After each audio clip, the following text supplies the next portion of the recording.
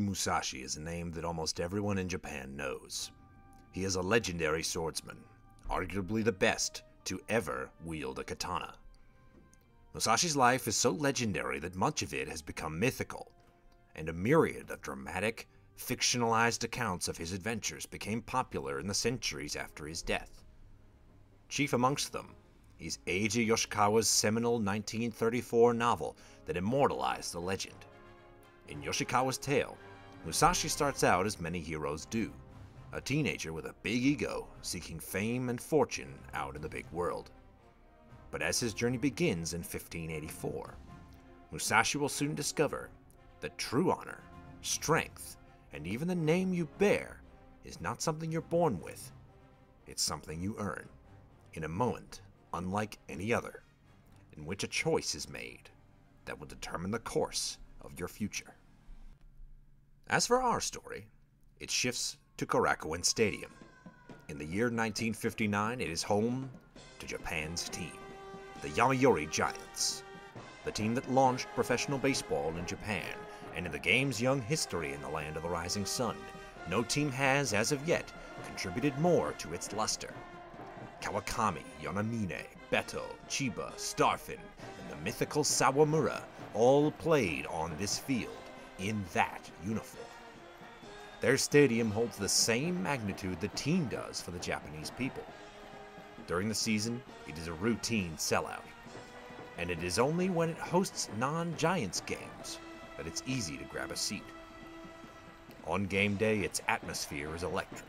Crowds flock to the heart of Tokyo. Traffic stops for miles around. Vendors shout out to the gathering public, selling out their wares in minutes to the passers-by eager for a souvenir. The fans pile in, the game begins, and the titans of baseball put on a show for the ages that no one in the stands will ever forget. This is the scene for every home game, every year.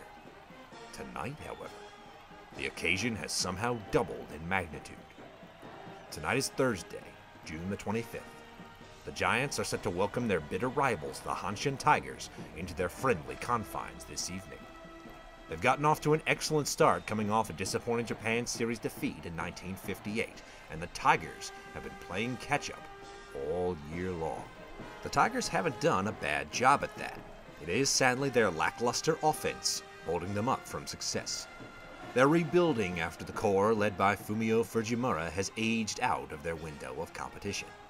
Young shortstop and eventual CL Best 9 winner Yoshio Yoshida has managed to distinguish himself in the meantime having learned exceptional defense from Fujimura, though he's still finding his stroke with the bat.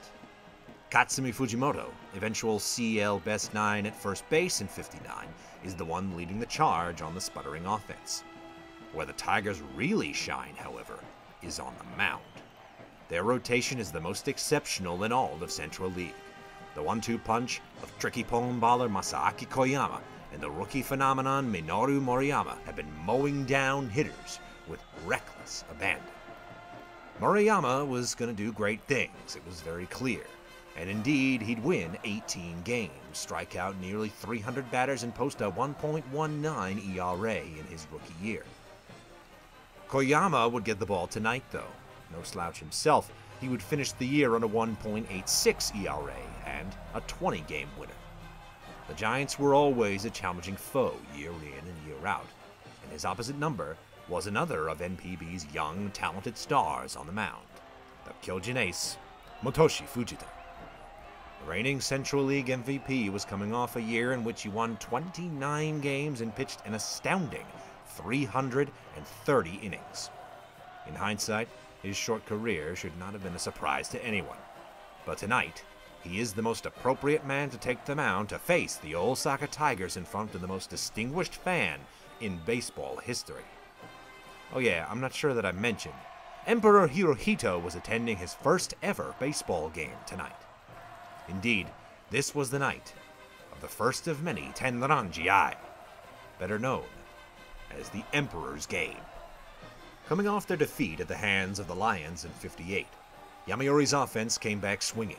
Sophomore third baseman Shigeo Nagashima followed up his magnificent rookie campaign, hitting over 300 with 29 homers and 37 steals, leading the offense in home runs, RBIs, and batting average once again. If the Giants were going to carry the day in front of the Emperor, the smart money was on him to be the one to win or lose the game with his performance. As the Imperial family took their seats, the Giants' rookie first baseman looked on. Like a lot of the players on the field tonight, his nerves were very heavy. Try as he might to stretch his body and keep it loose, any attempts to become less tense had thus far failed. However, the young hitter was especially nervous tonight, more than anyone on his team. He was due for a good game, and he knew that. Of all nights, he could not fail on this one. Failure tonight would most certainly mean back to Sumida Ward in disgrace, and begrudgingly taking that post as an electrical engineer his father had wanted desperately for him to take all those years ago. This, the Emperor's game, was Sadaharu Oh's last chance. He had hit his first home run at the professional level already earlier that year, but his contributions to the offense had been non existent to the point that his bat was a near complete hindrance to the Giants' ability to win. They won in spite of him. 1959 would end with O striking out 72 times in 94 games. The kanji character for O denotes king in the Japanese language. Unfortunately for Sadaharu, this would prove a very effective tool for ridicule from Giants fans to respond to his woes at the plate. Whenever he would come to the plate came a chant. Oh, oh, Sanshin, oh. The strikeout king. Not at all the way his career was supposed to begin. Maybe tonight would change that. Maybe a good game in front of Hirohito would change that. Only one way to find out. Koyama and Fujita went to work against one another. Each got through two innings unscathed, but after Teruo Namiki made his way on base, Koyama flicked a base hit into the outfield to plate the first run of the ball game. Down 1 0 bottom of the fifth, however, Nagashima stepped up to the plate and crashed Koyama's pitch out of the ballpark. Center fielder Kazuhiko Sakazaki came up next and followed Nagashima's blast with a rocket of his own to make it 2 1 Giants. They did not hold the lead for long. Yoshida stepped up in the top of the sixth, singled up the middle, swiped second, and then flew around the bases to score on another RBI single from Hidefumi Miyake to tie the game. Up came Katsumi Fujimoto, who, not to be outdone by his rival sluggers, hammered a homer over the right field wall to give the Tigers a 4 2 lead. Their lead was slim and vanished quickly. Sakazaki led off for Yomiuri in the bottom of the seventh. He made his way on base to bring the tying run to the plate, and up came Sadaharu O. The nerves were overwhelming, the noise deafening, the situation of the utmost intensity. All of the strikeouts, all the failures, all the mistakes bubbled to the surface in that electrifying moment. Every eye in the stadium was fixed upon the one time high school phenom, who to this point was nowhere near anyone's expectations, including his own. All of that would need to be shut out. He kicked the dirt in the box and fixed his eyes upon Koyama. The at bat commenced. Fleeting for everyone else, but excruciatingly long for Sadaharu. As time slowed to a halt, he finally got a pitch he liked. It sailed over the right field porch and into the seats. This jubilation would, in time, become a regular occurrence for Giants fans, but right now, this was a pleasant surprise off the bat of the disappointing rookie. The game was tied 4 to 4 in the seventh inning. So far, this baseball thing was really agreeing with His Majesty. But he was only scheduled to stay until 9:15 that evening, so hopefully the game would be over by then. Who wouldn't want to see the end of this one, after all? With Koyama entering the bottom of the eighth gassed, the Tigers looked to Murayama, spectacular all year, to keep things tied. He and O would go on to battle each other in many spectacular duels in the years to come. Murayama entered the eighth and set the Kyojin down in spectacular fashion. One, two, three. He brought his team up to bat in the ninth with a chance to take the lead. but it was squandered. The good news was there was no way the Giants would bury this one in the ninth with how Murayama was pitching, and the game would most assuredly go to extras. The bad news was the Imperial couple would miss the end if that happened. Most fans knew this, and panic set in. As the baseball gods would have it, though, like everyone everywhere who loves baseball, the gods of the sport would see to it that Hirohito's first baseball game ever was as memorable as possible.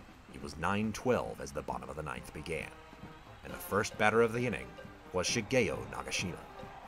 Murayama missed with two pitches, but managed to notch two strikes on the talented young slugger. The 2 2 pitch was called for. It was a high fastball in on the hands, trying to tie Nagashima up, setting down the Giants' cleanup man. The pitch would never find the catcher's glove. Hirohito leaned forward in his seat, his eyes fixed on the action. And though advanced in his age, in that moment, he was all of us, young or old, rich or poor, discovering a passion that would consume us all until the end of our days. How great this game is indeed.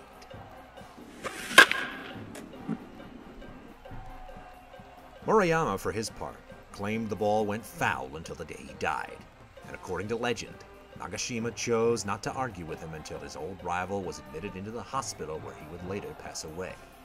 And as the story goes, Nagashima very politely, calmly, and warmly told him like it was.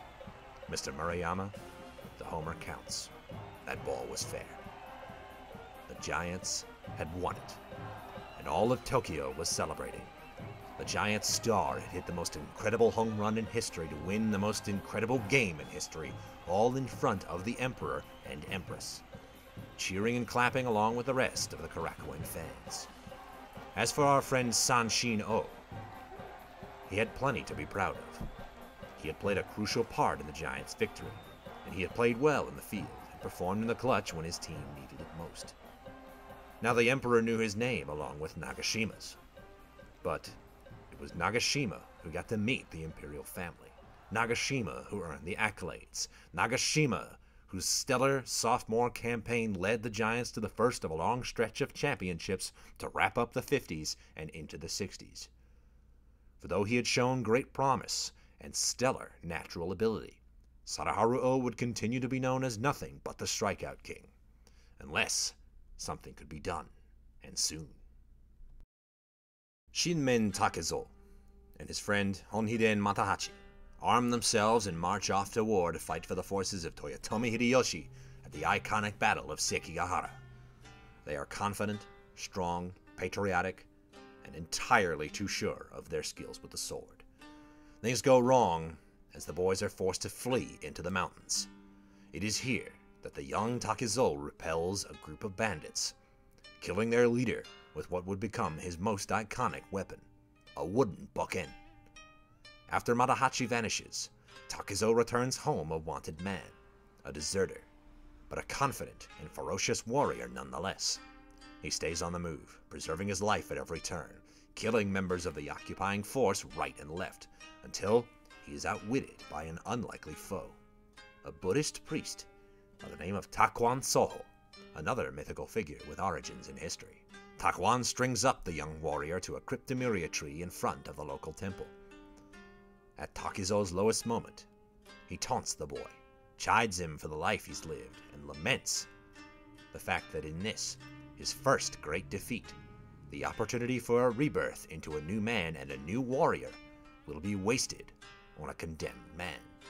Takezo has a choice to make die weak or survive strong.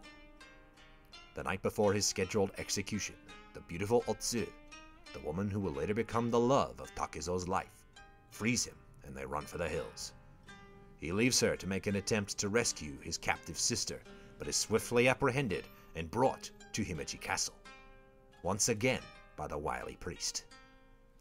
Takezo was imprisoned in Himeji for three years, his only company, books on Zen, war, and courtly manners. When Takuan finally releases him, Lord Terumasa gives Takezo a new name, upon which he will stake his skill and reputation on for the rest of his life. Miyamoto Musashi.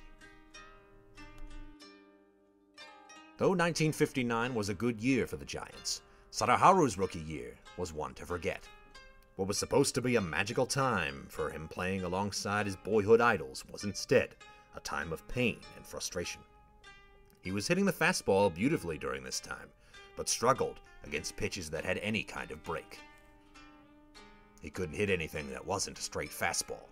It was cute, said Hiroshi Gondo, a pitcher who'd been in the league just as long as he had.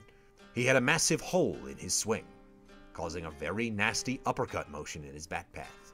Tetsuharu Kawakami, try as he might, could not find any sort of consistency in the young man's offensive abilities. He wanted Nagashima to have some protection in the lineup. Luckily, he didn't need it. Even still, Oh's promise and potential did shine through, and he had some big home runs in the 1961 Japan Series. But for the money, and the hype, and the pressure, he was performing nowhere near expectations, hanging near 250 and leaving the yard under 20 times a year. Something had to change. He needed a rebirth. Three years into his career, a new hitting coach was hired by Yomiuri. And thanks to this hire, a rebirth was exactly what Sadaharu O was going to get. Hiroshi Arakawa had just finished molding Kihachi Enomoto into the powerhouse of the Daimai Orions that he was in the late 50s and into the 60s. Once again, Sadaharu O had crossed his path, and this time, his sage advice was going to stick. He could work with Sadaharu day in and day out. His lightning quick mind noticed every little kink in the young man's swing. For one thing, he had no balance, the movements of his body were completely disconnected from one another, and his head was so unsteady he could only see the ball for an infinitesimal fraction of a second. Plenty of improvements could be made, and immediately, as camp began in early 62, the two men set to work. Arakawa's primary goal was to quiet the movement of the swing, so that every part of the body moved together as in a well oiled machine. The movement of the legs starts, which moves the torso, which moves the hands, which moves the bat. He tried several different new batting approaches in order to correct the hitch in Sadaharu's backswing that seemed to be the root of the problem. Of the many employed, one stood out as the most effective, as it seemed to neutralize the extra turn of the wrist that occurred when Sadaharu lifted his right leg. After all, when balancing on your back foot, it pulls focus from the other parts of the body and encourages connectivity in the movement of the swing. The results were there, but Sadaharu never adapted what would later become the flamingo style fully, and to start the season, he and the Giants were slow out of the gate. The team could not string together a winning streak of any note, and by the end of June, he had only nine home runs to his name. Even Nagashima was struggling to begin the year perhaps feeling worn down from putting the team on his back all those years. The Giants had no pitching. Their normally reliable hitting core fell silent, and the man in the middle of it all, Sadaharu O, was getting blamed for all of it. This tumult came to a head on the 30th of June.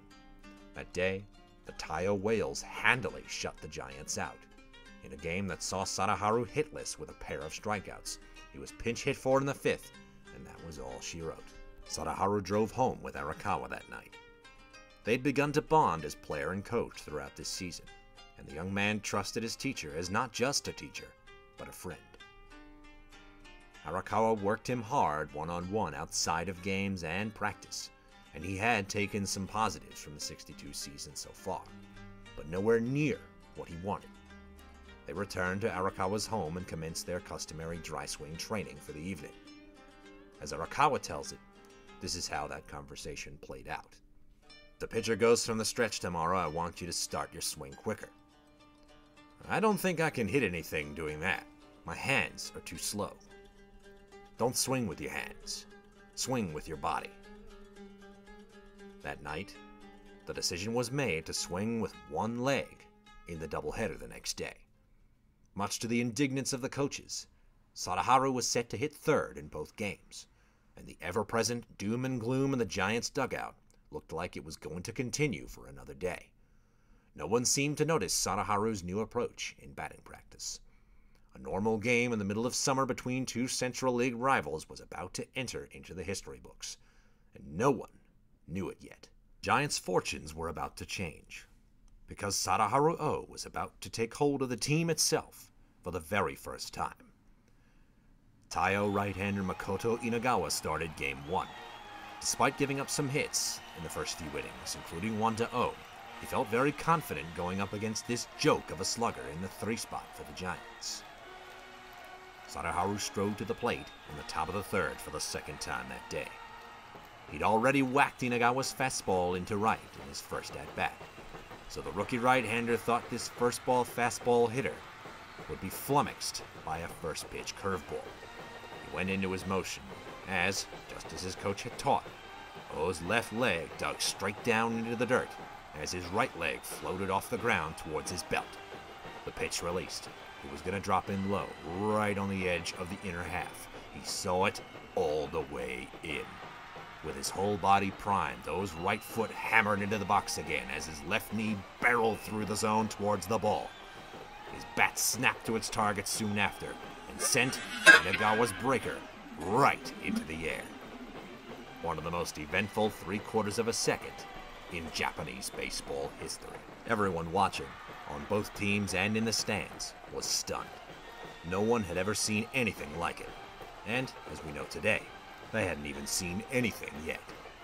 He finished game one with three hits and four runs batted in. In game two, he went hitless. But it was still a great day. Arakawa was pleased, and, at his recommendation, Sadaharu O threw himself into training his new, unique style of hitting. The fans were utterly captivated by every detail. And when, on one occasion later that summer, cameras were led into a session of this strange training, they couldn't keep their eyes off of him, and would never again until he retired.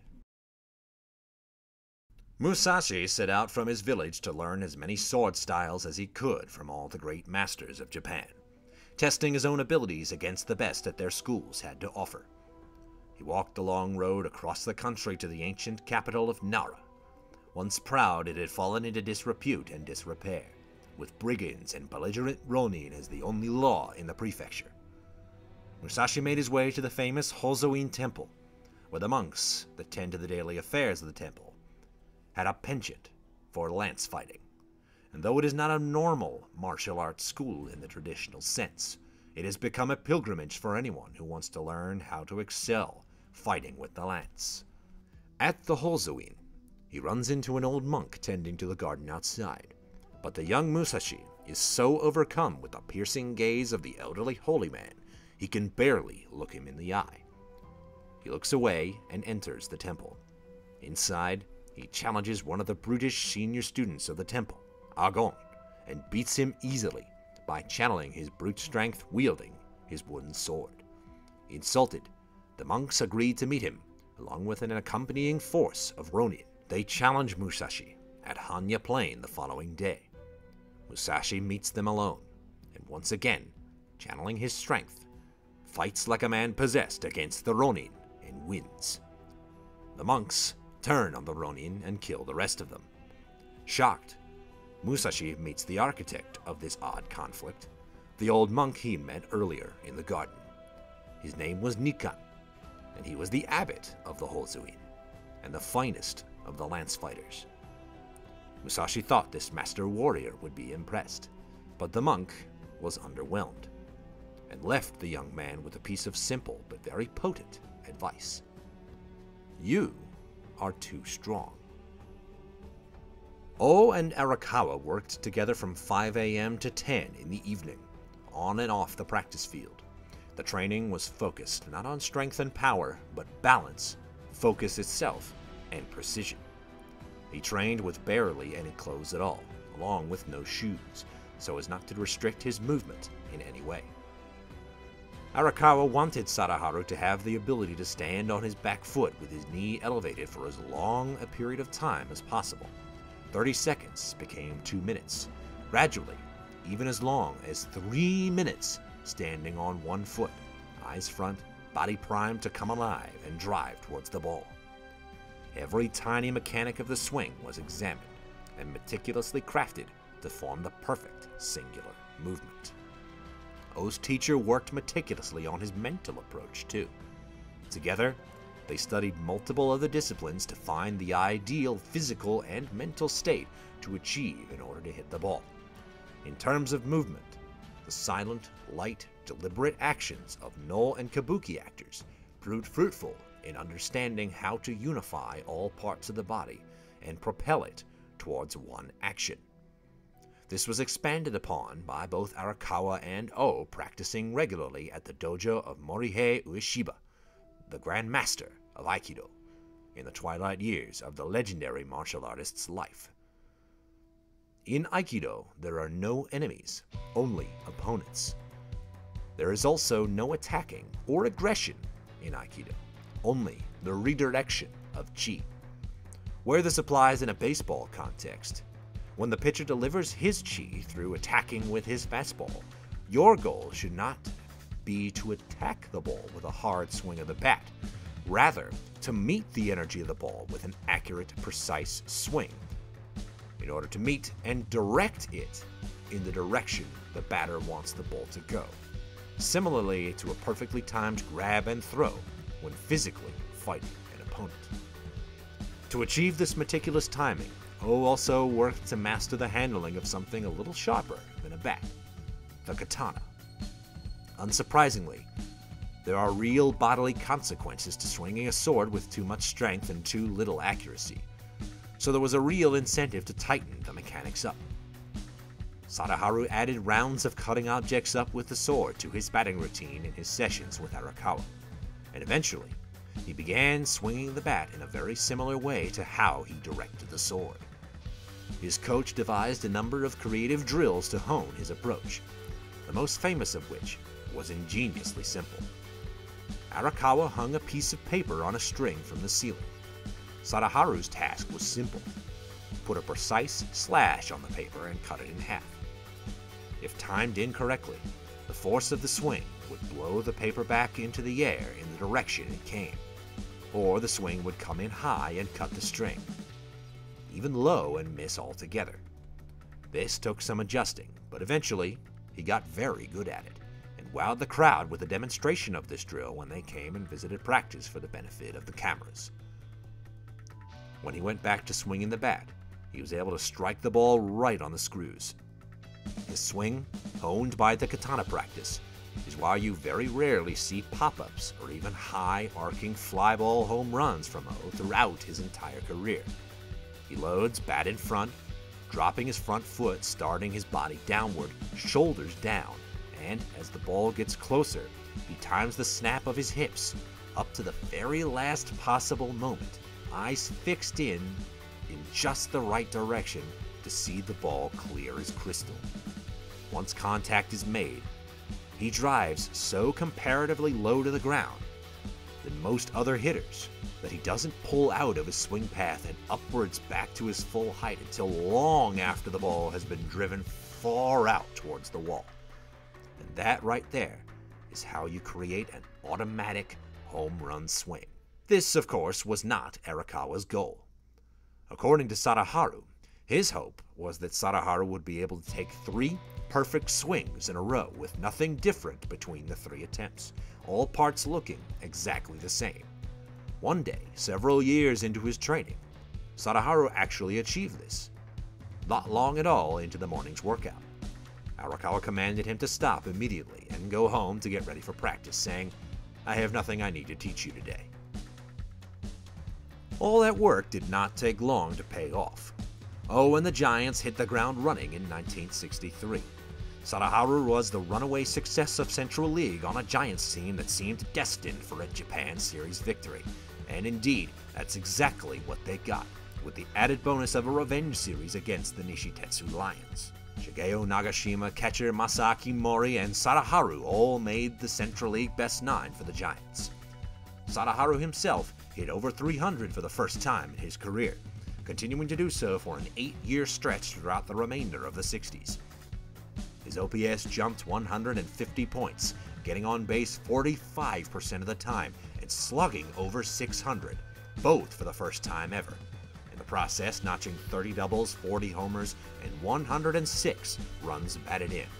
And the cherry on top, he slashed his strikeout total by nearly a third going from 99 and 62 to 64 and 63. Impressive numbers, to be sure, and the best of his career by far.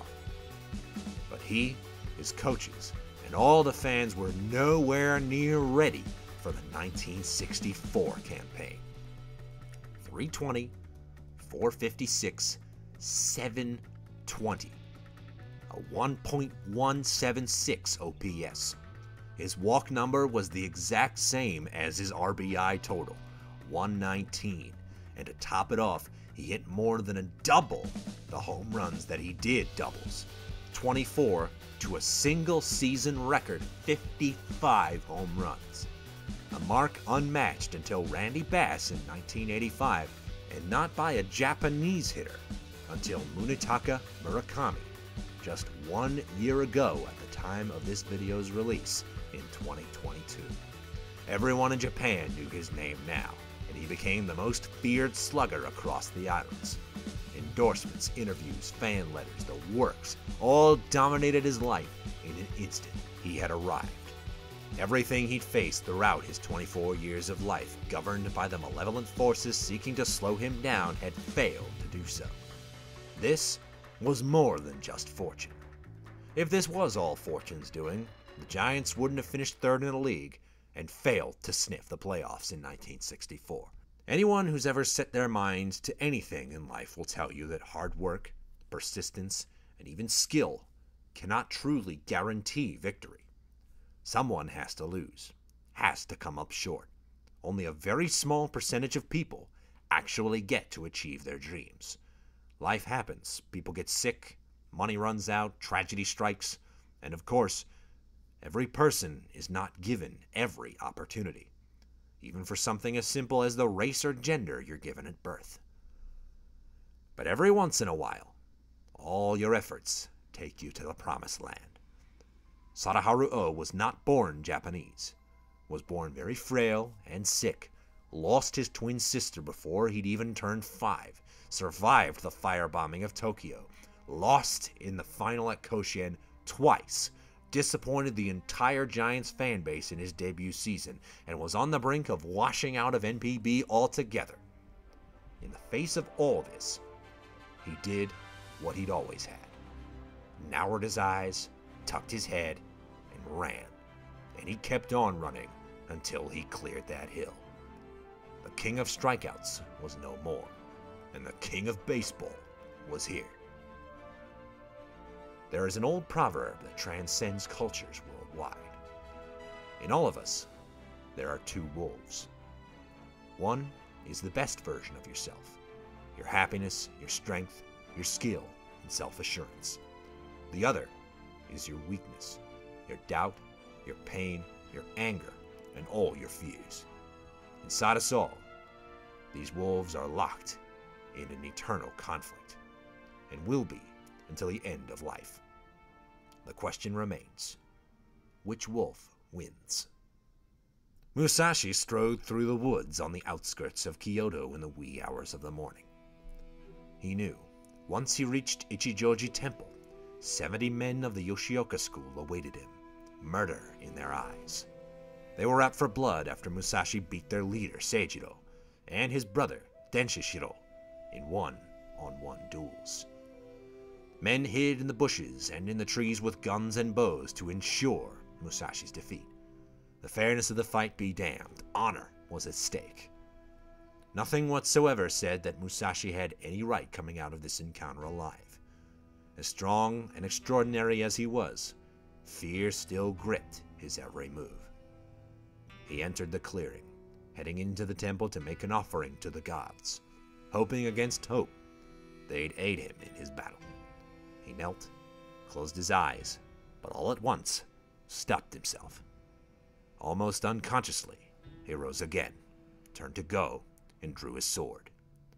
As he walked to face his enemies, one thought gripped his mind. Respect the gods. Do not depend on them. The fight began, he focused his energy and raised his sword. What happened next is debated ad nauseum. It's nowhere near actual history, but still the story persisted. 71 men entered the valley that night, and only Musashi walked out. What actually happened during the fight, win, lose, or draw for Musashi, is irrelevant. Whether he lived or died that night, one thing remains clear. In both the legendary and historical versions of Musashi's tale, the wolf that wins inside of us is whichever side we feed. Thank you for watching part 3 of our series The King's Tale here on the Global Baseball Network. Please do like and share this video if you enjoyed it, and you know somebody who would enjoy it right along with you. And be sure to hit the subscribe button and the bell icon down below the video screen to be notified every time we upload a new video to get you your fix of the world's greatest game. Please do click the link that I've got in the end screen here if you missed the first two parts of this series, and obviously there will be more on the way. I've been Marshall Emmert. This has been part three of The King's Tale here on the Global Baseball Network. Thank you very much for watching. We'll see you in the next one, but for now, that's the game.